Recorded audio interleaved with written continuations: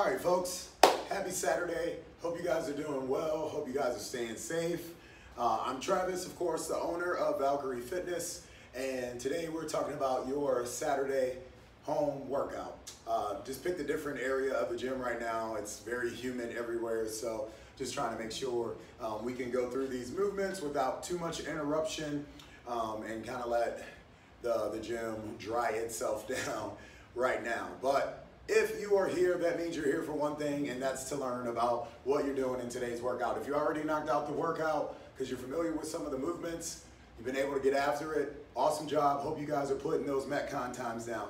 Because um, today we got 12 minutes on that Metcon, and your goal should be about two to four, possibly three or more, probably is a better way to look at it, rounds of that work. And of course, make sure you have your cardio options. All right, let's get to the first part of the workout which is that activation. You guys got three rounds. You're gonna be doing jump lunges. So your normal jump lunge, 10 total, or if you're not able to do the jump, I would prefer you hit that static. So we keep that time under tension, hit that 10 on, um, oh sorry, five on each side for a total of 10.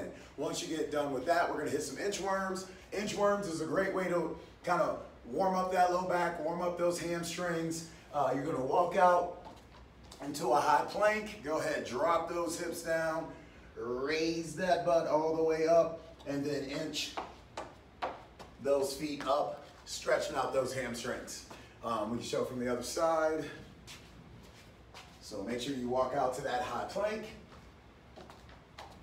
Drop the hips, raise the glutes in the air, and slowly inch yourself all the way up or as best as you can. You guys got a total of only five of those. Get used to that movement because inchworms is something you'll be seeing a lot, not just as activation, but also in cool down. Um, and then jump rope or jump in place. Give me 20 reps of that. So get your jump rope out, hit 20, or just jump in place, giving yourself total 20. I like hitting the sides because it kind of mimics uh, when I first started learning how to do double unders in CrossFit, I would do penguin jumps. Big shout out to homies down at Ready to Live for showing me that. All right, so three rounds. Jump, static lunges, inchworms, and then a jump rope or jump in place for 20 reps. Okay, once you guys are done with that, go ahead and pull back out those lovely sliders. If you don't have them, find that slick surface that we always talk about Okay, so you can go through your slider series.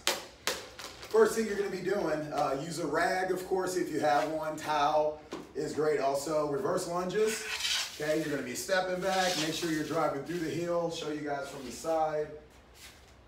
Switch those foot. Make sure you get that good ball of the foot in. Step back in that reverse lunge. Drive through that heel to bring you back up. Okay, you got 15 of those on each side. Once you get done with that, then we're gonna go to pikes. Pikes are being a little bit more challenging. We do have a couple options, okay, with the pikes. Get those balls of the feet into the sliders.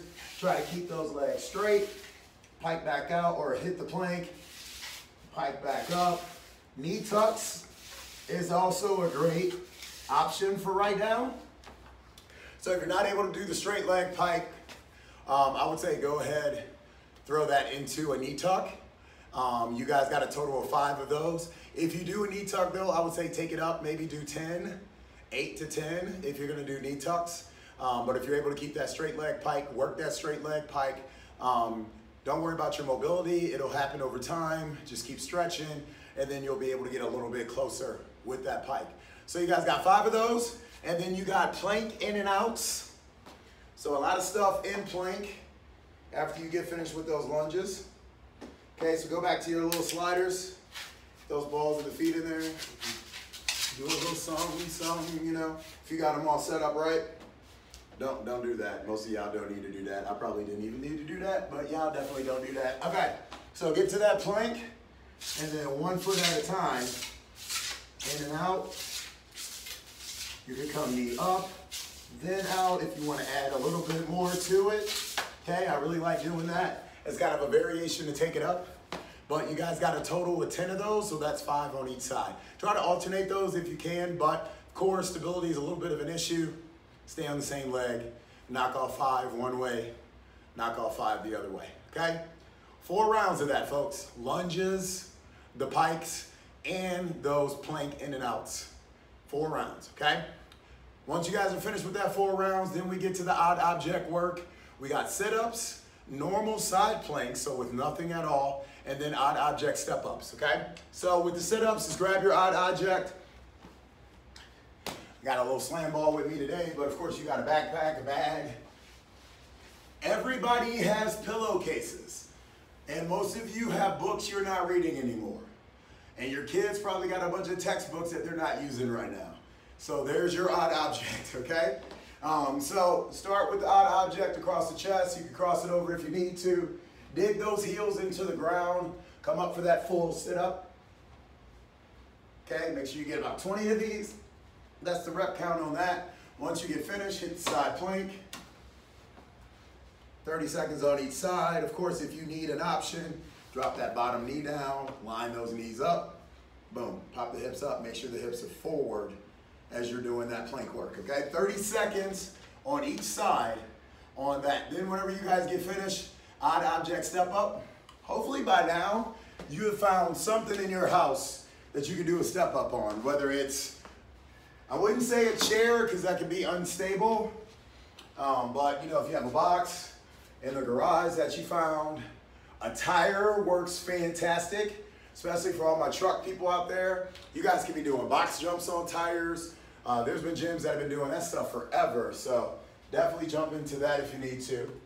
Um, but anything that gives you elevation, like right now I got just like a 35 pound plate, that works just fine. Hit your step up, bring the foot back down. You can use your stairs. You got big feet on the stairs, take it to a lateral step up, bring it back down. Elevate the knee if you want to add the Russian love into it. No problem there, just get a little bit more heat. You guys got a total of 10 of those on each side, okay? So you got five rounds, sit-ups, side planks, and then step-ups to kind of finish off our low trunk work for the rest of the week. Once you get finished with that five rounds, make sure you take a break, get yourself set up. You guys got 12 minutes on the Metcon, 400 meter run or cardio option, at least two minutes on that cardio option. When you're done with that, then you go into a bear crawl. Um, with the bear crawls, people, let's add some heat to these, okay? So, I know you got the bear steps that I see people do a lot, but let's get that butt up and move, okay? We can deal with those bear steps on a different day. Today, we want bear crawls that are moving. Gotta remember, we're trying to get our heart rate as elevated as possible during this time frame. So even though the bear steps are wonderful for you, today we want regular booty in the air bear crawls, get after it, okay? 10 push-ups after that, and then you finish up with V holds. And that V hold, once again, I'll show you from the side. We're just coming up, shoulders off the ground, toes pointed forward, holding that for 30 seconds. Okay?